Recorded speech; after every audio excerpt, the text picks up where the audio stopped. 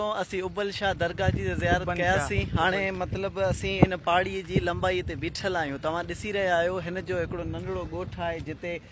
बहिराणीअ जा माण्हू वॾे प्यारु मोहबत सां रहंदा आहिनि ऐं कज़न्स बि मूंसां गॾु आयल आहिनि ऐं वेठल आहे असां सां गॾु उस्तादु मोहबत अबद श जेको पंहिंजी थकावट दूरि करे रहियो आहे पर हींअर गर्मी जो टेम्परेचर भी कुझु वधीक आहे हिते जो टेम्परेचर तकरीबन ॿुधाए पियो टेतालीह डिग्री आहे पर मूं गॾु जेके अमरा आहिनि उहे वीचारा पसीने में इलाही शुर थी विया आहिनि हाणे कुझु असीं थोरो मथे में हलूं पिया उस्ताद खां बि थोरो पुछूं था छो त हीउ हिते जो राकू आहे हलंदड़ फिरंदड़ आहे त असांखे कुझु ॿुधाईंदो हिन इलाइक़े जे हवाले सां असांखे कुझु ॿुधायो दरगाह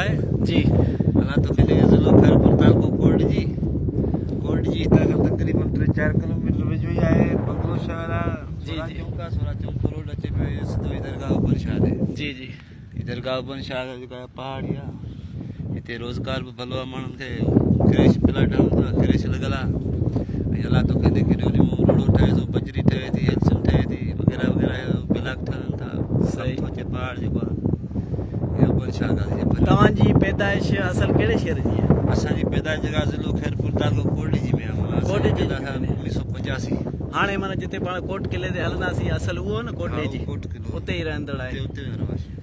माना तारीख़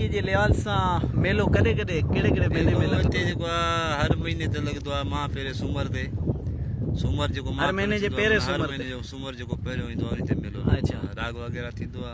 सही मेलो लग दुआ आवाम इंडिया इते जी आपो हवा जे हवाले सा ता को चवण चाहे जी त आपो हवा जे बारे में खेती बाड़ी वगैरह यो जे जादो जी हवा हो जे ओला हो जे उत्तर हो जे दक्षिण हो जे जाते हो जे बी हो जे थोड़ी रात हो हवा होती होती तवा दोस्तो बुदो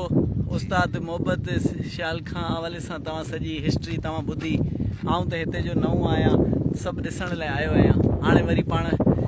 ॿिए विज़िट ते लिकियूं था जंहिंजो नालो आहे कोट किलो कोट किलो महिरबानी